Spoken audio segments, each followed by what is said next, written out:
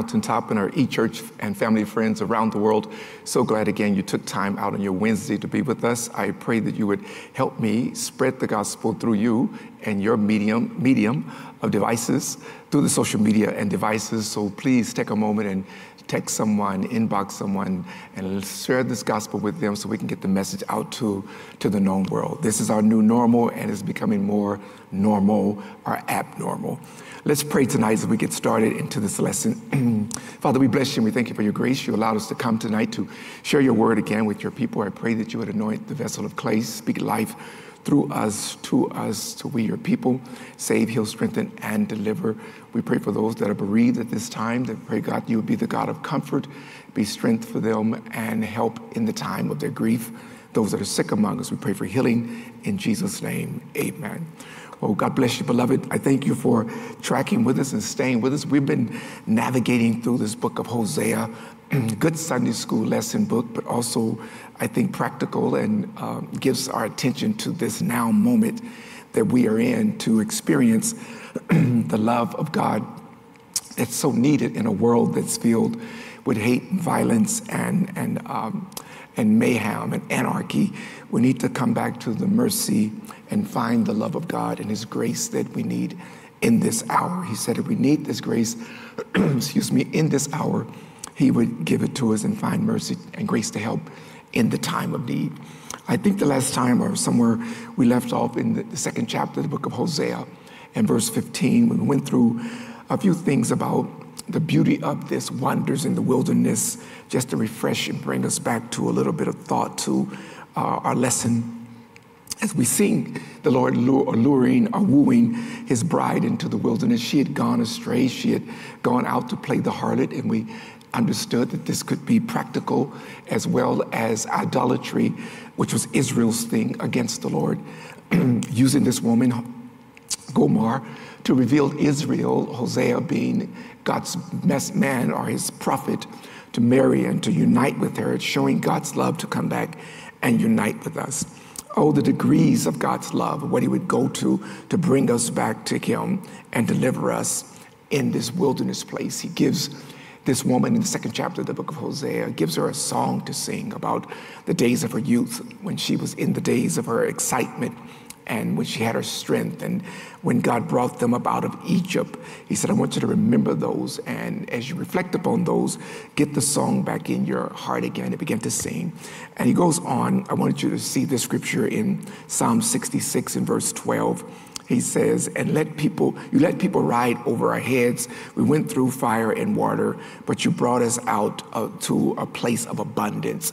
Here is God dealing with his people, Israel, as he takes us through the wilderness experiences of our lives and brings us out to a place of abundance, uh, a, a, place of running over wealth, uh, a place of, of, of supernatural, uh, uh um, saturated blessings. Uh, that's what he's doing for the church in this hour. He's bringing them to the place of, of a supernatural blessings.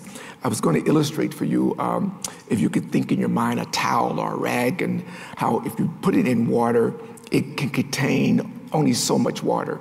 After that, then the water begins to run out, out your hands off the rag, and they put the rag back in the water again, yet the rag still cannot obtain any more water because it's saturated. I pray the saturations of God's blessings on our lives and on your life this year as we go through the rest of this season, that He saturate us with even the greatness of His power in this wilderness. This woman experienced it after she had been pushed away, he brings her back to a door of hope and gives her, her financially, emotionally, spiritually, and new relationships and plentifulness in her lives, for she remembered the days of Egypt, of bondage, but God brought her out and bringing you and I out also to a wealthy place. It's a review of that second chapter of Hosea, and particularly verse 15, how God made things to grow, fresh vineyards, fruitful days. How many of you really want to see fresh vineyards and fruitful days? I know I do. Uh, wilderness days are behind us, good days, the best days are in front of us. Hebrews 13 and 8 Jesus Christ is the same yesterday, today, and forever. Renew your strength, renew your vision, and renew your hope. Tonight, I want to move into this book of Hosea a little bit further in that second chapter where you're at. And I'm going to talk about the Lord of love. We see him wooing her into the wilderness and bringing her back to him. Now he begins to express himself as the Lord of love, the Lord of love. Um, Hosea 2 and verse 16. And it shall be in that day, says the Lord, that I will call, that you will call me husband. You will no longer call me master. That's in, I think, the NIV translation. Um, he says, I don't want you, uh, new, uh, the New King James translation, I don't want you to call me, uh, uh you will no longer call me, uh, you will call me, I'm sorry, husband. You will no longer call me master. He now shows his love towards, uh, towards us that he wants to become our husband. We're going to get into some, some weighty things tonight in that word husband versus master, but it'll all come together in the end. As we are experiencing God and going into new things and new levels with Him, He has shown us His wonders even in the wilderness. And now He wants to make us His bride, typified, typical of typifying the church. And He wants us to be fruitful. Genesis 1:27 speaks about fruitfulness and that's bringing forth and growing and increasing. He wants us to bring forth, to grow and increase in whatever we have our hands to do. He wants us to grow and increase. He gives us here now this, this great hope. He adorns us in this place, in this wilderness, and He helps her to experience the days of her youth. The joyful and rejoicing time is coming back again. She's alive again. She's feeling the joy. She's feeling the blessings of the Lord. She's feeling stronger in this new relationship coming into this betrothed to her husband, the Lord of love. He will not abandon forever. Although Israel had played the harlot, they had gone astray in adultery. We are like sheep, all go astray. But God woos us back and opens our hearts up to come back to Him. I'm so glad He doesn't give up on us as man do but he brings us back to him. He is the Lord of love. He talks about this, this newness in relationship that, he got, that he's going to have with us. This new relationship is resuming and announcing and pronouncing. He is now giving us this assurance of his mercy and his love. His love that he gives and what he brings back and establishes with us is that he loves us and he cares for us and he wants us to know that he, we will never be absence of him because it's a new relationship that we are garnering are building with him. He gives us this relationship, which is a stoge, stoge, stoge is a loving relationship as a family, as sisters and brothers, as children. We are in family relationship with the Lord. This love, the Lord of love, is the agape love. And storge, which is family and sister and brotherly love, flows out of agape love, God love. This love, he wants us to know not only does he love us, but he also loves everything that's connected to us. You wouldn't want to be married to someone and they only love you and they do not care about the other things that you are concerned about your children, your immediate family, those that are blended into your family. But God is telling us if He loves you, He loves your whole family. Isn't that a blessing to know that He doesn't leave anybody in your house out? He loves everyone that you are concerned about. He says, "Do not. It shall be in that day," says the Lord, "that I'm going to call you my uh, call me husband. You no, no longer call me master, Call me Ishai, husband. Experience the affection that I have for you and loving relationship as a husband, not lie, not as a master, an owner, or possessor. You don't want to be with anyone. You got to control or try to dominate and possess or, or, or, or pressure on them to love you. It should be a reciprocal relationship. God is a wonderful father, but He's an awesome husband, and He knows how to deal and build with us and take time with us as a husband would and should do with his natural wife. In some deeper relationship, it's sweeter to call him um, my Lord and my wife versus to call him my ser- servant and my master. The deeper relationship goes into him being our husband. He's our husband. He's our husband. He, we are married to Christ. We are the bride and he is the groom. He's our husband. What marvelous grace that we see in these scriptures that God is pleading with us pleading with Israel and acting now as a husband to bring us back to Him and playing the part of a husband. I hear something telling me a good man is hard to find. Yes, but even more challenging is to find a good woman. Together, it's a good relationship. But if it's broken one or the other, it's going to be a strained relationship all along the way. What are you saying, Pastor? One wants to be married and the other is still thinking about it. But when you unite together in unity, in harmony, it's a beautiful relationship. The husband involves a promise that he presents. This promise that he presents is that he's going to be responsible and supplying every need. Husbands, Love your wives as Christ loved the church. It's in the book of Ephesians.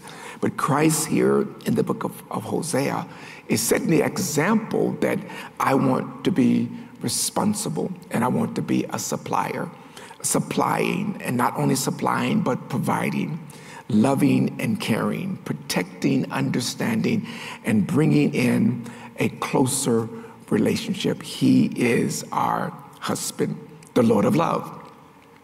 Call me husband, trust me. Trust me to love in my love, my loving faithfulness.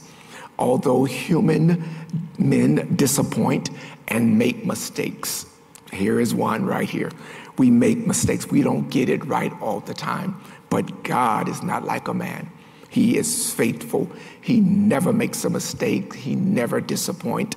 2 Corinthians 13 and 8 says, God's love never fails.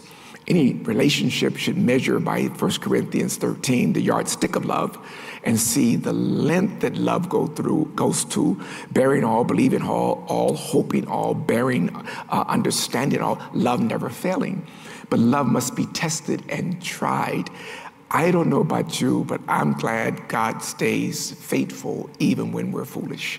He is the Lord of love this new relationship and this new commitment and this new hope and this new joy, this new peace is for whosoever wants to come and be connected with this great loving husband, this great loving father, our Lord and Savior Jesus Christ. He is the Lord of love.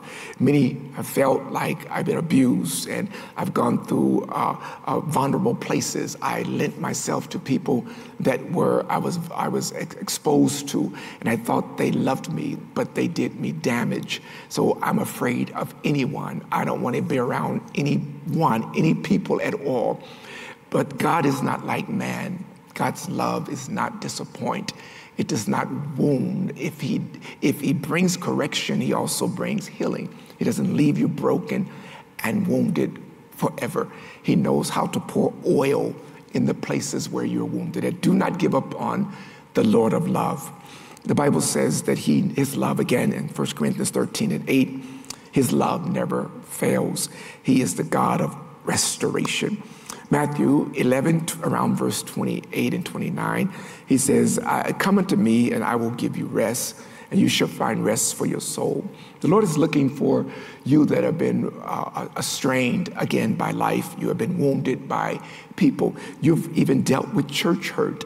But God is saying that He did not mean that, mean that for your destruction. He meant it all for good. He saw it was going, what was going on. He knew you were being wrong, wrongfully done. But His love never fails, and He knows how to heal, mend, and bring you back to Him.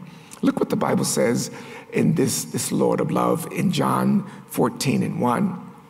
I paraphrase, he says, as I go to the text, he says, It's so sweet here to see the assurance of his love when you're weary, trembling in your heart. Pastor House, can I trust again? Can I believe again? Can I open my heart up to love again? Yes. But filter it through the love of God. Do not leave yourself vulnerable to humanity. Open yourself up to God's love. He says in St. John 14 and 1, Jesus says, um, Let not your hearts be troubled. Believe in God, believe also in me. Believe in Him, trust His love. St. John 3 16, if you know it, it says, For God so loved the world that He gave His only begotten Son, whosoever believes in Him should not perish, but have everlasting life, everlasting love. I'm talking tonight about the Lord of love. I will show you wonders, he says in the 15th verse of Hosea 2. In the wilderness, the wonders I'm paraphrasing that he's showing in the wilderness is vineyards are growing again. Dry, desolate, barren places are getting ready to shoot forth and break out into something great. Something beautiful is coming out of the pain. He says, You're going to be singing in the wilderness like the barren woman over in the book of Isaiah. You're going to be enlarging the borders of your tents because God is getting ready to do something wonderful out of a barren and a dry place. That good things, those good things, good things are coming out. We're walking through wilderness, but good things are coming out of this. New relationships are coming out of this. I'm growing in my love and I'm growing in the grace of the Lord and Savior, Jesus Christ. Tonight, please remember the Lord loves you. Trust Him to be your husband and your not your, just your master. He becomes our Lord because we submit to Him. He becomes our husband because we connect to Him. Like the vine of John 15 and the branch, we abide in Him. He doesn't want to be lording over us as a dominant master. He wants to be a loving and faithful husband. I want to assure you tonight that God loves you and He cares for you. He wants you to be in covenant relationship with Him. He wants to bless you with heaven's best for your life. He wants to care for you, strengthen you, and build you. Let your love for Him be renewed. The book of Revelation says that we must return back to our first love. Come back to loving Him. And love is an action from our hearts, that where our treasures are, there will be our heart also. He loves us, He forgives us, He corrects us in love, and His love never fails. Trust the Lord tonight.